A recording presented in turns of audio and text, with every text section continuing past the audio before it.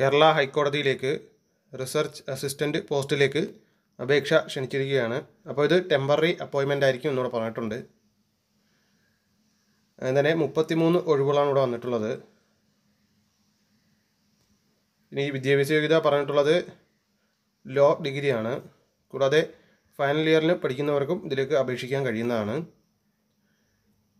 ഇനി സെലക്ഷൻ ഇവിടെ കൊടുത്തിട്ടുള്ളത് വൈവ വോസ് എക്സാമിനേഷന്റെ ബേസിസിലായിരിക്കും സെലക്ഷൻ നടക്കുക എന്നിവിടെ പറഞ്ഞിട്ടുണ്ട്. പ്രായപരിധി ഇവിടെ പറഞ്ഞിട്ടുള്ളത് ഇരുപത്താറ് എട്ട് ആയിരത്തി തൊള്ളായിരത്തി തൊണ്ണൂറ്റി രണ്ടിനും ഇരുപത്തഞ്ച് എട്ട് ആയിരത്തി തൊള്ളായിരത്തി തൊണ്ണൂറ്റി എട്ടിനും ഇടയിൽ ജനിച്ചവരായിരിക്കണം. അതായത് ഇരുപത്തിയെട്ട് വയസ്സ് ആകാൻ പാടില്ല എന്നാണ് ഇവിടെ പറഞ്ഞിട്ടുള്ളത്. നീ അപേക്ഷ സമർപ്പിക്കേണ്ടത് ഓൺലൈനായിട്ടാണ് W W W dot H C K recruitment dot nic dot in എന്ന വെബ്സൈറ്റ് വഴിയാണ് അപേക്ഷ സമർപ്പിക്കേണ്ടത്.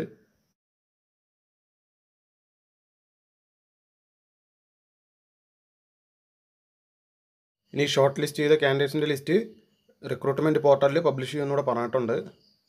അപ്പോൾ ആ പബ്ലിഷ് ചെയ്തവർക്ക് കോൾ ലെറ്റേഴ്സ് ഇഷ്യൂ ചെയ്തും അത് വെബ്സൈറ്റിൽ നിന്ന് ഡൗൺലോഡ് ചെയ്തെടുക്കണം എന്നിവിടെ പറഞ്ഞിട്ടുണ്ട്.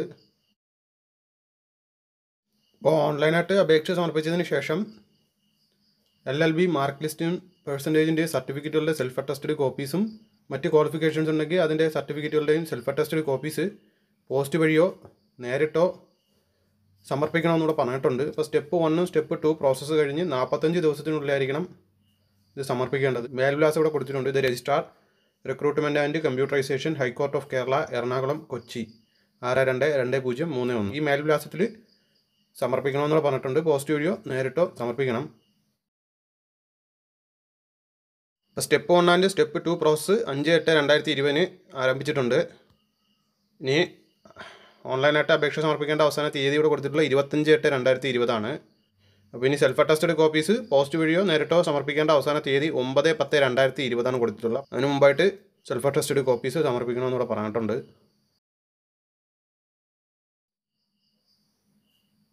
അപ്പോൾ കേരള ഹൈക്കോടതിയിലേക്ക് റിസർച്ച് അസിസ്റ്റന്റ് പോസ്റ്റിലേക്കാണ് സെലക്ഷൻ നടക്കുന്നത്. അപ്പോൾ ഇത് ടെമ്പററി അപ്പോയിൻമെന്റ് ആണ്. രണ്ട് വർഷത്തേക്കാണ് കാലാവധി ഇവിടെ പറഞ്ഞിട്ടുള്ളത്.